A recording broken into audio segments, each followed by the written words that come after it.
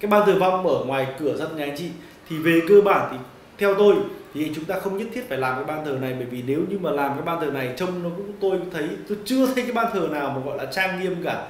Đóng tạm bợ để trên đấy một cái bát hương, xong rồi lâu lâu để thêm đĩa hoa quả, cũng không khác gì cùng vong chưa phải là vong đây là vong linh linh tinh lởn vởn bên ngoài không khác gì mời ma vào trong nhà để chơi cả. Nên chị bảo là, thế thì ờ, cô đỏ bé đỏ trong nhà thì thờ ở đâu? Trong nhà đã có cái bát hương. Nếu như chị thờ ba bát, nếu chị muốn thờ thì thờ một nhát ba bát luôn. Một bát hương thần linh ở giữa đúng không ạ? Một bát hương thần linh ở giữa đúng không ạ? Bát hương tiếp theo nó là bát hương thờ, bát hương thần linh ở giữa đúng không ạ? Bát hương tiếp theo đó là hội đồng gia tiên hội đồng gia tiên. Bát hương tiếp theo là hội đồng bà cô mạnh tướng. Vậy cô đỏ bé đỏ tất cả cái gì mà uh, uh, sẩy nặng gì lằng nhằng lằng nhằng chết trẻ hoặc là không nhào đấy là vào cái bát hương này riêng gọi là bát hương thờ bà cô bát hương này riêng gọi là bát hương thờ bà bà cô mạnh tướng đúng không ạ? Còn bên này là hội đồng gia tiên. Còn ở giữa là hội đồng chư vị tôn thần.